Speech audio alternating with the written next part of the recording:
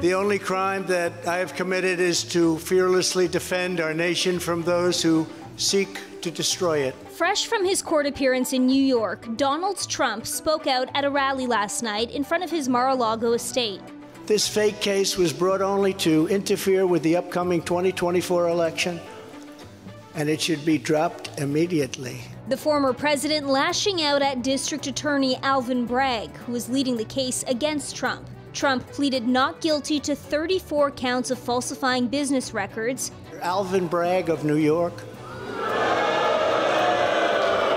who campaigned on the fact that he would get President Trump. And saying the charges should have never been brought. It's an insult to our country as the world is already laughing at us for so many other reasons.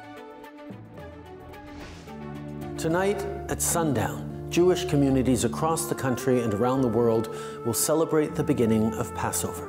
Passover is trending online. It's a Jewish holiday in memory of the exodus of the Jewish people from slavery in Egypt in the Torah. ברוך אתה אדוני, אלוהינו מלך העולם, בורא פרי הגפן. During the holiday, Jewish believers refrained from eating hametz, all food products that contained leavened wheat and oats. On the eve of the holiday, families convene to eat a ceremonial dinner, also known as the Seder, in which a special text is read describing the suffering of the Jewish people in Egypt and their journey in the desert. On behalf of my family, I wish peace, health, and joy to everyone celebrating Passover.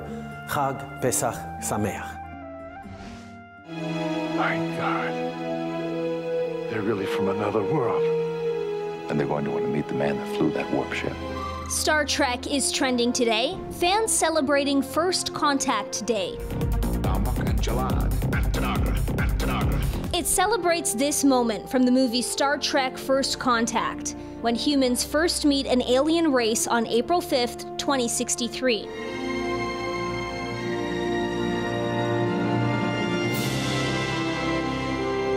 Fans are posting memories of their first contact with Star Trek, while the cast of Picard season 3 shared this one on TikTok.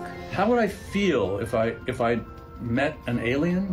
I think I've already met aliens. I'd have about 8 million questions. If I met an alien in real life, I would invite them for a pint of Guinness.